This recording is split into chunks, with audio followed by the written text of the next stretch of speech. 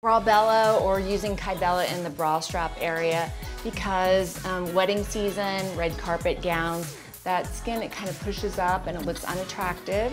It's for anyone who has unsightly fat deposits in that area because let's face it, you really can't exercise your armpits and so it's diet and exercise are really not going to take care of those stubborn fat deposits.